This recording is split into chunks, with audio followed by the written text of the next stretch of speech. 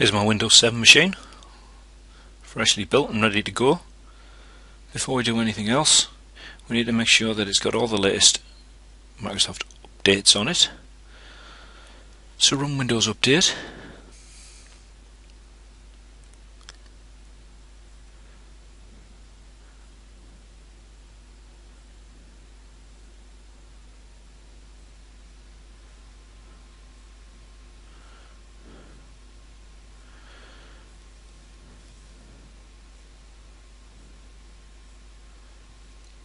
And let all those updates uh, install, uh, reboot it and keep running Windows updates until such time as it tells you Windows is up to date. Now remember it is a virtual machine so we're going to want to install the VMware Virtual Tools on it.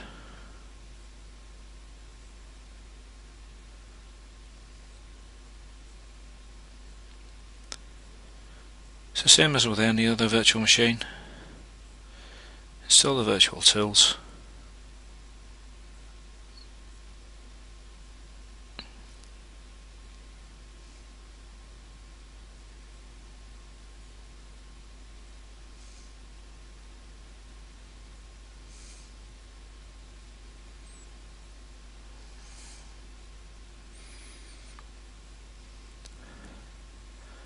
I'm just taking all the defaults and let it install.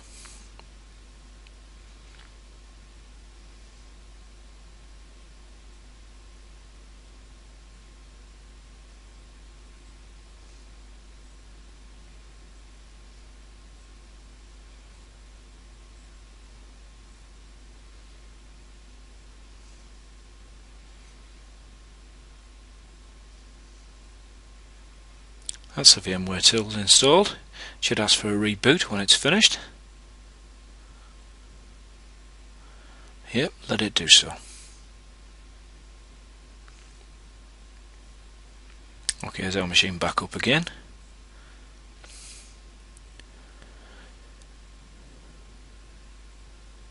Now at this point you want to install all your um, software and applications that you're going to want on your View desktop. I'm just going to stick Acrobat Reader on it. Again, I've sped all this up for the sake of the video. And I'll stick Flash on as well while I'm here. You'll want to install a all, full range of all your corporate apps, Office, etc.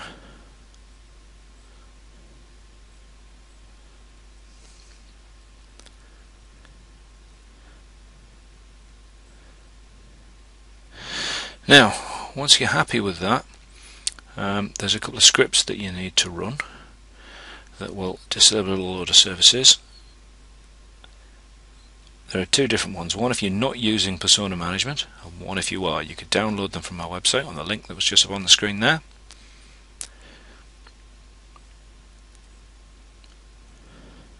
Now what I'm doing is I'm pasting that script to the root of my C drive and then I'm going to open a command window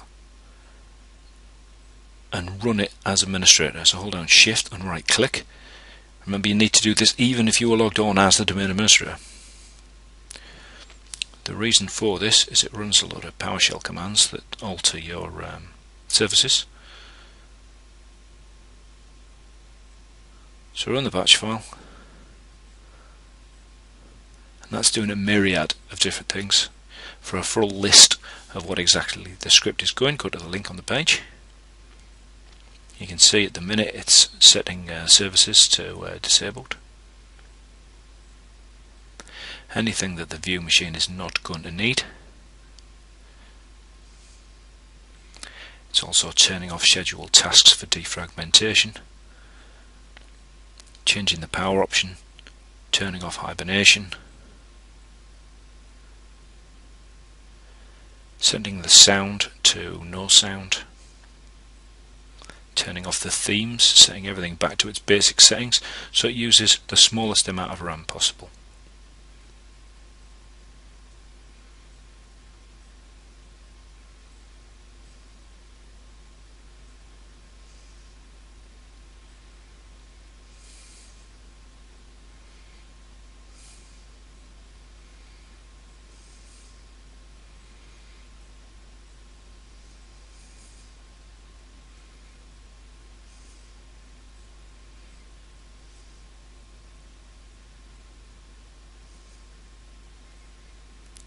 As you can see it takes a little while for this script to run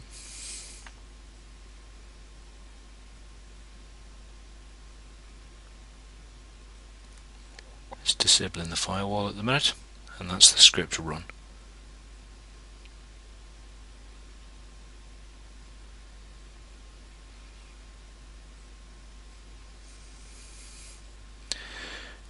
Now you've set a load of services to disabled so before you go any further you need to reboot this machine because those services will obviously still be running at the moment. You see when it reboots our theme is set to pretty basic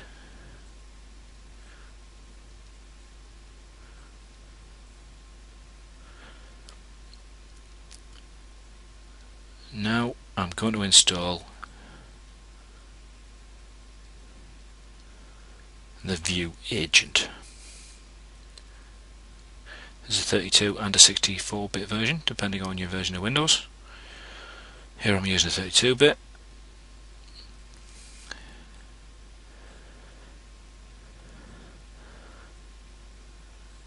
This is very straightforward.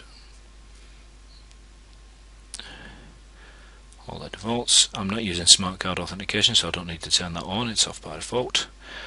Accept all the defaults.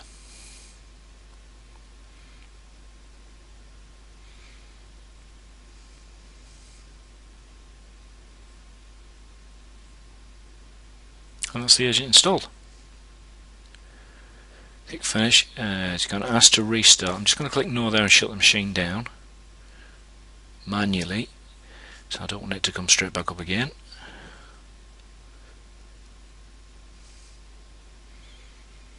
while the machine's off I'm just going to have a look at its settings.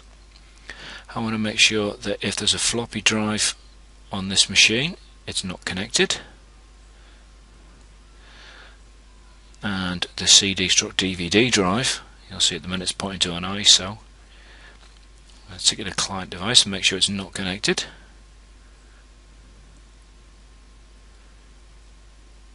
Any other erroneous bits of hardware you've got added on there you can simply remove them and I'm going to power that back on again. That machine is now ready to give out in a manual assignment or to snapshot if you want to make it a, a link clone etc or deploy it with Composer. That's us done. Don't forget to come and visit us at www.petenetlive.com